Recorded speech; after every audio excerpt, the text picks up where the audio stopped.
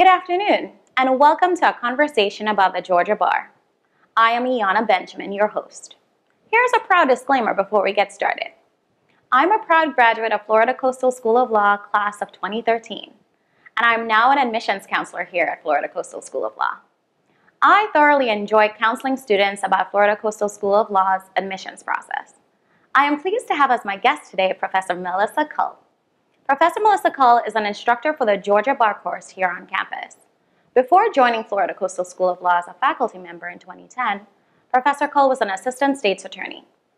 In her role as a prosecutor, she tried many misdemeanor cases, felony cases, special assault cases, and homicide cases. Professor Cull also worked as a criminal defense attorney. Beyond criminal law, Professor Cull clerked for bankruptcy judge, the Honorable Jerry A. Funk. She also worked in the civil practice capacity in the areas of real estate, guardianship, and probate. It's an honor to interview her today on all things Georgia Bar related. Welcome, Professor Cull. Let's dive right into the questions, Professor Cull. So, how does the Georgia Bar differ from the Florida Bar?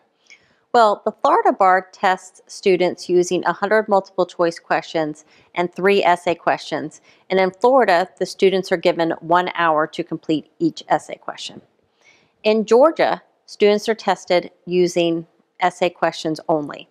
In the morning, the Georgia Bar provides students with two multi-performance tests.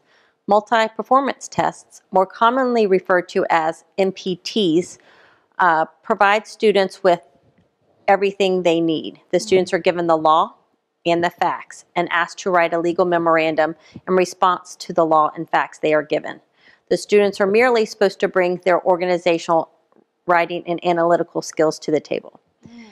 Uh, Georgia Bar gives the students two MPT exams in the morning. Uh, so the students are required to uh, divide the time equally and use 90 minutes to write the first MPT and 90 minutes to write the second MPT. After a lunch break, the Georgia bar takers return to the Georgia bar exam and are given four essay questions. In Georgia, the students have 45 minutes to complete each essay question. The essay questions may be single subject or multi-subject, and the Georgia bar examiners stress that organization is very important when answering those questions. So I know in fall 2016, Florida Coastal School of Law initiated a Georgia bar prep course.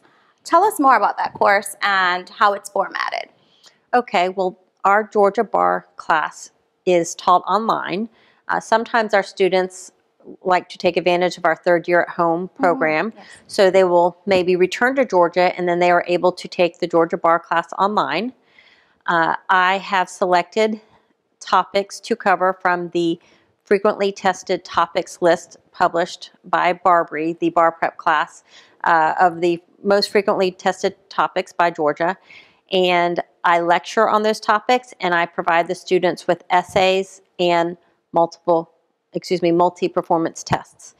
I use previously published questions by the Georgia Bar examiners and I use previously published questions by the uh, multi-performance test writers, and I also write my own essays for both the essay questions and the multi-performance test.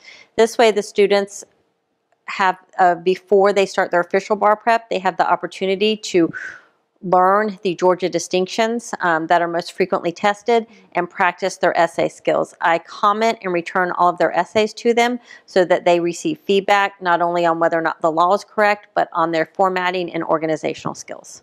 Oh, wow, that's great.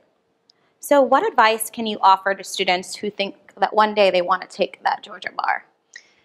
Uh, in your first year, take your legal writing and research classes very seriously. Um, embrace writing as a lawyer, embrace the IRAC formula, which means identify the issue of law, state the rule of law, apply the law to the facts that you're given, and then conclude. I would also advise students to um, obviously embrace the Georgia law. And it's important to learn the law and really understand the Georgia distinctions and the Georgia law. Three, I would encourage students to uh, work on their organizational skills, as I said, embrace the IRAC method, and work on their analy- legal analysis because the Georgia bar examiners state that they really uh, look for that legal and analytical skills when they are reading the uh, essays. Four, I would suggest that the students really take advantage of the Georgia Bar website. The Georgia Bar examiners have provided a lot of information on the website. They have everything from all of the past exams on the website to a video by a Georgia Bar examiner who helps hmm. write and grade the tests, a lecture by her explaining what they look for on the test. And as I mentioned previously, she mentions organization five or six times in her lecture. And lastly, I would suggest that students attend Florida Coastal and take my Georgia Bar Prep class. Thank you for taking the time, Professor. And this concludes our conversations about the Georgia Bar.